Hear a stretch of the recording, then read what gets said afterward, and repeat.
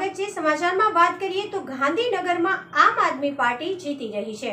ગાંધીનગરમાં આમ આદમી પાર્ટી જીતી રહી છે. ભાજપ અને કોંગ્રેસના ટેબલ પર કોઈ માણસો નથી અને આમ આદમી પાર્ટીના ટેબલ પર ખૂબ જ ભીડ થઈ રહી છે.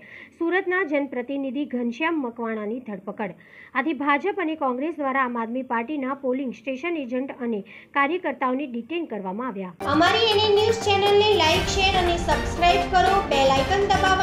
更大。